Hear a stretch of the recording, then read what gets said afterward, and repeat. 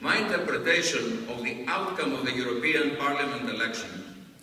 is that the increase in Euroscepticism and nationalism reflects to a significant extent